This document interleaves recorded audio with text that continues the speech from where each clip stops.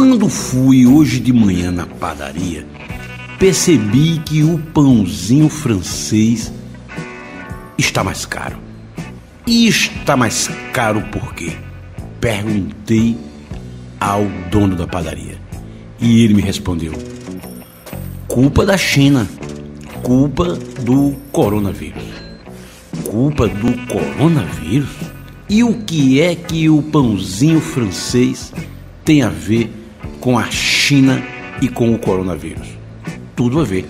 Essa alta do dólar, a maior dos últimos tempos, com a moeda americana já passando de 4,30 e muitos dizem chegará em breve galopando aos cinco reais, tem a ver com essa crise na China, porque a China, que é hoje o maior mercado consumidor do país, está de certa forma em quarentena por conta desse vírus letal que já matou centenas de pessoas e ameaça se espalhar pelo mundo numa pandemia. Pois bem, na China, o coronavírus se espalha e toca o horror, ruas vazias, supermercados vazios, aeroportos vazios, todo mundo com um protetor no nariz. Pelo mundo, o dólar dispara. No Brasil, a ameaça é de chegar a cinco reais e saltar essa barreira dos cinco. O que isso pode provocar e por que nós devemos nos preocupar? Devemos nos preocupar porque a nossa economia é toda indexada ao dólar. Gasolina. A gasolina sobe quando o dólar sobe.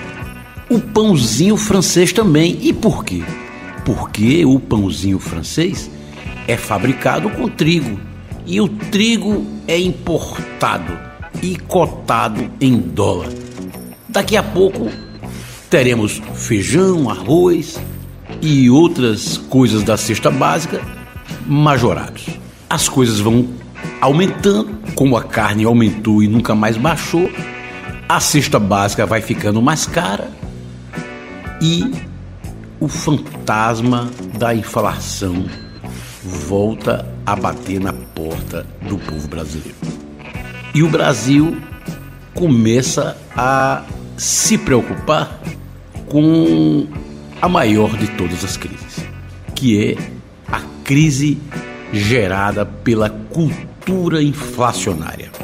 A cultura inflacionária, ela é especulativa e o comerciante inescrupuloso, ele aumenta o preço antes de a mercadoria aumentar para ele. Ele imagina um aumento e já autoriza remarcação de preços nas gôndolas. Quem sai perdendo com essa cultura inflacionária? Quem sai perdendo com essa especulação? Quem sai perdendo com essa alta do dólar? Como sempre, o povo brasileiro, que paga o pato e o salário, como diria professor Raimundo, e o salário, ó.